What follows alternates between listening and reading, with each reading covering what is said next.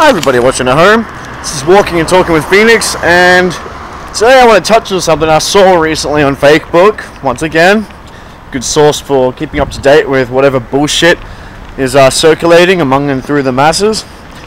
Um, there's this picture of this guy. it's the first I saw of him. A really, really astonishingly good-looking guy, like very pretty.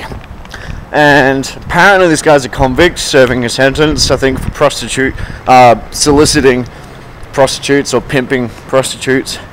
Um, some something to do with exploiting females. And you know, there's a lot of talk all over the internet about. Apparently, it's trending about how attractive this convict is, how pretty he is, and there's a lot of girls who are of the opinion that he should be given a quote an unquote second chance um, because he's so pretty. And you know, on the actual, I, I watched a video last night after I first saw this picture, saying that you know, keep it classy, ladies. Like it doesn't matter what this guy's done, exploiting females. The females are you know talking more about him than they're giving praise to you know veterans and people that actually do heroic acts, which aren't as good looking. And last night, this video was pretty much a news report saying that this guy is now being offered a modeling contract modeling contract because it's so good looking. And the actual females like the mass all of them that were on the stage at the time shared the opinion that you know he should be given a second chance. And the one of the male writers was like but you know he, he's already had you know two chances he's had four chances. He's been to jail four times. And he's still like you know exploiting women and doing all this and then the girl replied, oh, well, you know, that's not that bad. I've dated worse guys than that, and they weren't even as pretty as him. See, this is what concerns me. This is what repulses me.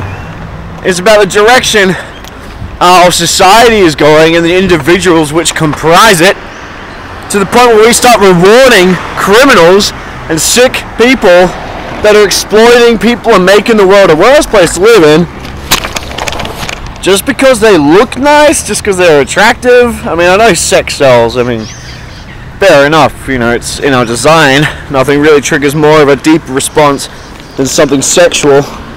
But does that mean that all common decency and courtesy, or not courtesy, but decency and morality and sensibility goes out the window to the point where we start rewarding criminals because they appeal to our senses? Excuse me, I'm just tying up my jacket right now. It's very annoying. Keeps falling down. Um, and yeah, this is what's basically disturbing me is about how maybe not just females, but in this case particularly females, prioritize um, things when it comes to, you know, deeming somebody worthy, and not just worthy of deserving a second chance and not serving for his fourth conviction, and not just worthy of, you know, chances in general, but worthy in worthy in general. How does a girl determine a guy's worth? If someone thinks that a guy can exploit women four times directly and and be pardoned because of his looks, and that's pretty serious if you ask me, then she can probably be of the same mind to say, well, he should be pardoned of anything or less. He shouldn't be judged so easily. He should be let off the hook because he's good looking. You know, he meaning he's worthy of exceptional treatment is probably worthy of exceptional treatment in the field of dating. You know, he's probably the kind of guy that you would feel more obligated or someone that you'd want to pleasure more and serve more, someone that you want to please and keep enticed, keep interested, you know. Just because they're special and so good looking, they warrant that exceptional treatment, right?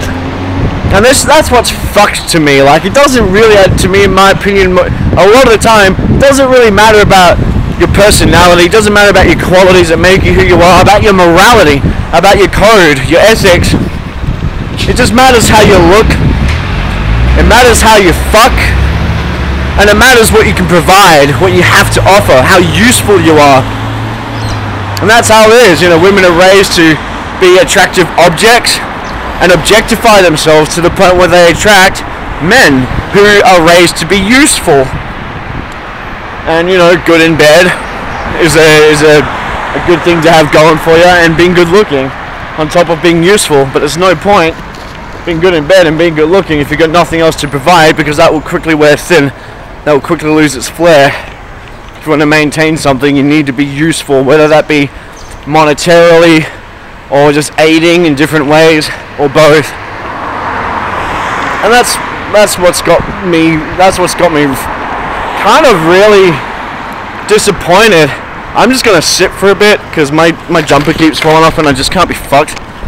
That's what's got me a bit down in the dumps because I'm a guy that likes to believe that there is love, that a, a woman will go for a man based on, you know, him being fair and decent and a good man, you know, having a good nature and admirable qualities that attract her. Someone that she'd like to see instill those same qualities in the child one day. But these days it seems that women will settle for assholes and abusive motherfuckers and animals. You know, people of a much lower mind and lower decency, levels of decency. And they would simply make that sacrifice to their children who also suffer. They'll make that sacrifice in their own life because it impacts them, foremost. Um, just because, what? Because the sex is great? What? Because they're so captivatingly attractive and irresistible that you can't keep away from them? really, I think people have the priorities wrong. Maybe it doesn't just extend to women, maybe it extends to both genders. But I think the priorities are definitely wrong in how we evaluate what is worthy, what is not, what deserves a second chance, what doesn't. You know, people will be quick to shit on the nice guy and kick him out without a second thought and without hesitation.